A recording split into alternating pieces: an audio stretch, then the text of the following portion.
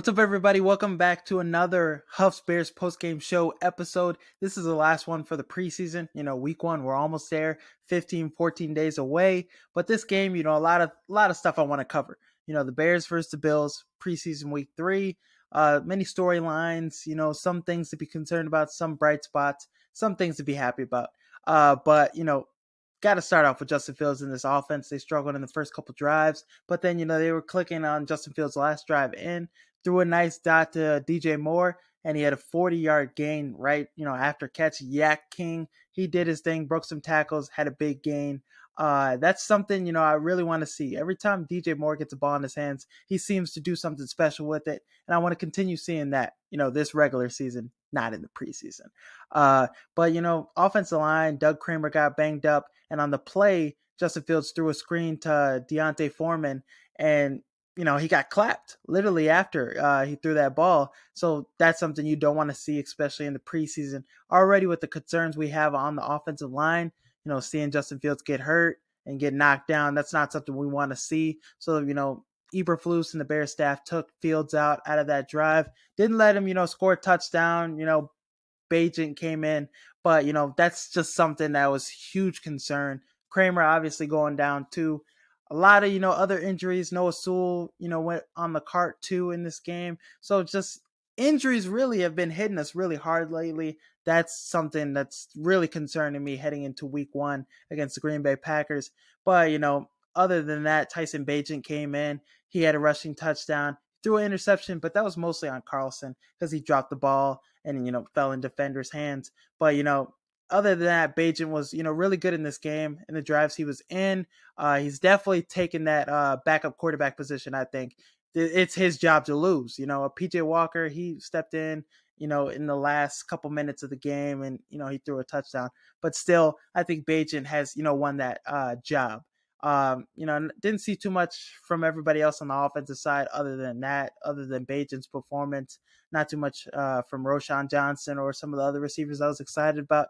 Defensively, Tyrique Stevenson, you know, two holding penalties, but you know he's a rookie quarter, cornerback, so just give him some time. You know there's going to be some growing pains. Had an interception, picked off Kyle Allen. That was great. It was a great play by him, and just stuff like that is really making me confident in him. He's going to be a special player.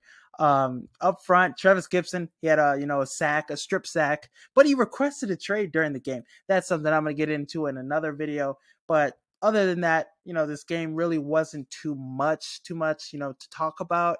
Uh, you know, Tyler Scott had a big return. I think we'll see more from him, you know, doing kickoff returns and punt returns. I think that's the guy I feel the most confident about right now on our roster.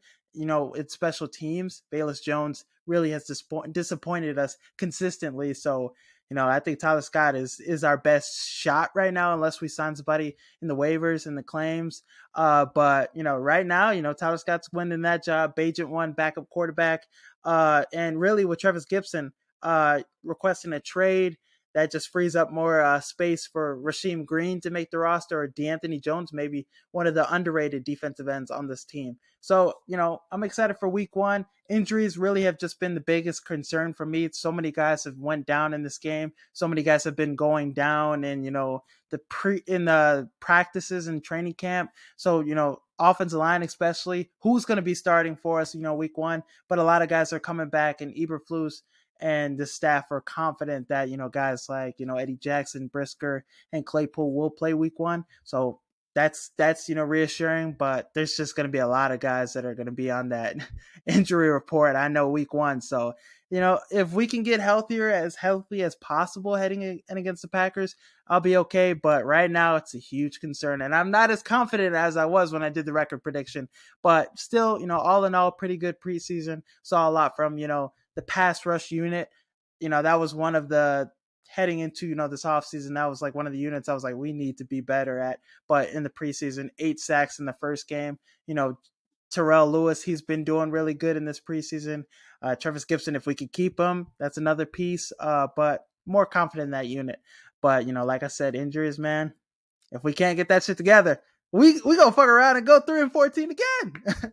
I saw Stefon Diggs too they said he wanted like they gave his three teams. It was the 49ers and the Bears. I forgot what the other team was, But I, but this is all like speculation. He he said it wasn't true. He wants to retire Bill. So I don't mean to get your hopes up, but